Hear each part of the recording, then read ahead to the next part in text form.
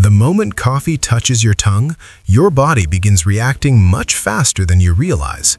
Caffeine slips into your bloodstream within minutes, racing through your system with a kind of urgency that feels invisible yet unmistakable.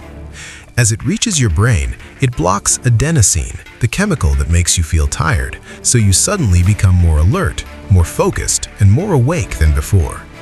But beneath that energizing feeling, your heart rate begins to rise, your breathing sharpens, and your nervous system shifts into a more active state, preparing your body for increased activity. Inside your stomach, coffee stimulates acid production, speeding digestion and making your gut move faster than normal.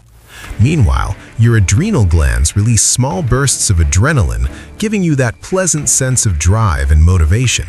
Your liver also starts breaking down stored energy to give your muscles more fuel. But coffee has its downsides.